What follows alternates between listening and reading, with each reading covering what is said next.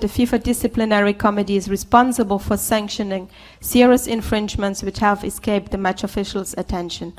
Furthermore, according to Article 96 of the FIFA Disciplinary Code, we distributed a few copies and it's available on FIFA.com. Any type of proof may be produced. In particular, are admissible, admissible reports from referees, declarations from the parties and witnesses, material evidence, audio and video recordings. Cannot give information on what is the material the disciplinary committee has.